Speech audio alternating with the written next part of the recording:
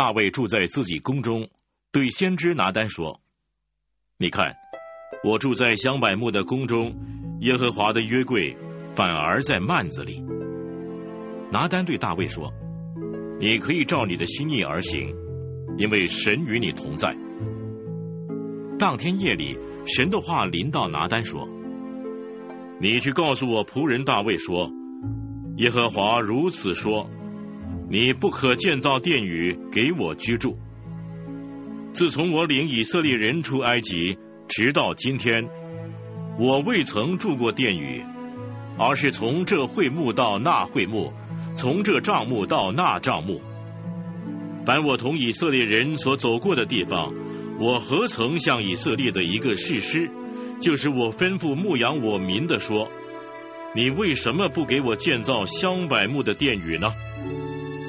现在你要告诉我仆人大卫说：万军之耶和华如此说：我从羊圈中将你召来，叫你不再跟从羊群。立你做我民以色列的君王，你无论往哪里去，我常与你同在，剪除你的一切仇敌，我必使你大有名声，好像世上大大有名的人一样。我必为我民以色列选定一个地方，栽培他们，使他们住自己的地方，不再迁移。凶恶之子也不再像从前那样扰害他们。并不像我命誓师治理我民以色列的时候一样，我必制服你的一切仇敌，并且我耶和华应许你，必为你建立家室。你寿数满足归你列祖的时候，我必使你的后裔接续你的位，我也必坚定他的国，他必为我建造殿宇，我必坚定他的国位，直到永远。我要做他的父，他要做我的子。我并不使我的慈爱离开他，像离开在你以前的扫罗一样。我却要让他永远建立在我家里和我国里，他的国位也必定稳固，直到永远。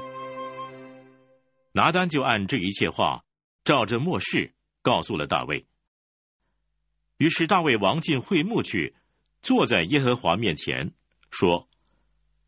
耶和华，我是谁？我的家算什么？你竟使我有这样的地位呢？神啊，这在你眼中还看为小，又应许你仆人的家至于久远。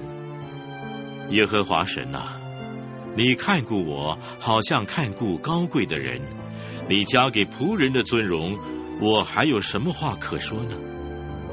因为你知道你的仆人耶和华，你行了这大事，并且显明出来，是以你仆人的缘故，也是照你的心意。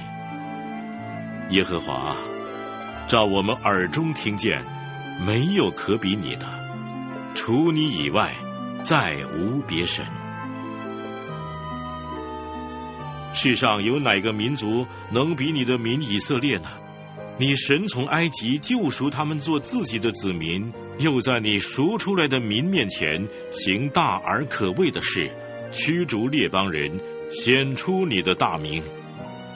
你使以色列人做你的子民，直到永远。你耶和华也做他们的神。耶和华，求你坚守你向仆人和仆人家所应许的话。